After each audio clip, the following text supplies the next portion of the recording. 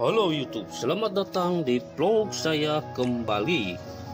Oke, dalam video kali ini saya akan membahas sebuah problem ya, masih problem dalam mobil. Oke, jadi setiap mobil itu mempunyai panbel ya. Fungsi panbel yaitu untuk memutarkan kipas, memutarkan water pump, memutarkan AC, memutarkan dinamo ampere untuk pengisian aki ya. Jadi di sini problem yang akan saya bahas yaitu adalah kenapa mobil itu berdecit ya, nyiricit, nyiricit. Nah, gitu tah. Nyiricitnya itu biasa terjadi pada pas waktu menghidupkan mesin, pas waktu hujan, pas waktu digas. Itu banyak terjadi ya yang disebut panbel itu adalah ini. Ini. Itu ya. Nah ini. Nah. Ini yang disebut dengan panbel. Seperti sabuk. Nah ini. Memutarkan kipas seperti yang ada lihat. Nah ini. Ini yang disebut dengan panbel dia memutarkan dinamo ya. Itu adalah dinamo jalan. Dinamo pengisian aki. Dia ke sini memutarkan kipas. Lalu ke bawah memutarkan water pump sama AC ya. Jadi untuk mobil Avanza, Xenia, Daihatsu, Pajero itu semua menggunakan panbel tidak ada mesin yang tidak menggunakan panbel. Jadi problem mendecit alias nyiricit itu rata-rata itu dikarenakan usia panbel yang sudah mulai mau rusak ya.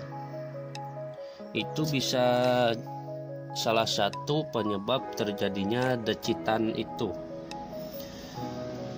itu yang ke satu ya. Jadi usia panbel sudah rusak.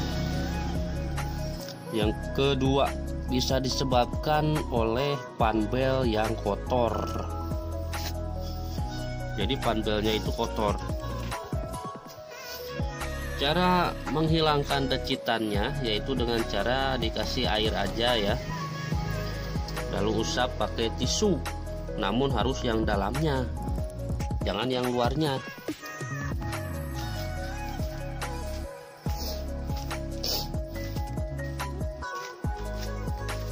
oke. Nah duh sama ya nggak kelihatan dari sini juga. Jadi ini ya yang disebut dengan panbel jadi kalian bersihkan aja panbelnya menggunakan air. Nah ini yang di dalam ini. Nah ini yang di dalam ini ya. Kalian kasih air. Tapi kalau lebih enak itu dibuka dulu ya panbelnya kalian buka dulu panbelnya dengan cara nah kalau dari sini kelihatan ya. Ini adalah baut untuk penyetel kenor kenceng si panbel ya. Dan ini adalah baut untuk melonggarkan dinamo ini ya jadi setelannya yaitu dari dinamo ya rata-rata semua mobil dari dinamo ya. Jadi kalian buka dulu ini baut 12 kalian longgarin. Lalu kalian longgarin ini ya secara otomatis ini akan turun ke bawah ya si dana si dinamo ini. Dan si panbel akan terlepas. Lalu kalian ambil copot kalian bersihkan tapi ditodong juga bisa sih. Dari sini kalian kasih lap aja ya. E, air sama tisu ya. Tapi dalamnya ya. Sama yang ini. Sama yang ini juga ya. Pokoknya kalian bersihkan aja ya. Itu yang kedua kotor. Oke, yang ketiga itu disebabkan oleh panbel itu kurang kenceng ya. Saya juga saya juga dulu pernah mengalami ya berdecit nyericit. Pas waktu di start itu cericit pas waktu hujan sama gitu ya. Dicericitan itu sangat tidak enak sekali didengarnya ya. Nah kalau kasus yang saya alami dulu yaitu kurang kenceng ya. Cara melihatnya yaitu dengan cara kalian beginiin aja. Nah beginiin aja apabila panbel itu turun ke bawah ya tidak keras seperti ini ini kan keras ya didorong ke bawah tuh itu keras. Berarti setelannya itu kenceng. Kalau didorong begini eh, si panbel turun ke bawah ya alias melai alias melai ya berarti itu kurang kenceng panbelnya ya. Kalian cukup aja kencangkan kalian kencangkan aja panbelnya supaya tidak terjadi suara bising nyiricit dengan cara ini dikendorin lalu kalian ini tarikan ya. Uh, ini kalau mau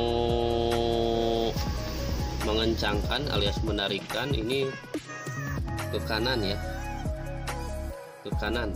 Kalau mau mengecilkan itu ke kiri.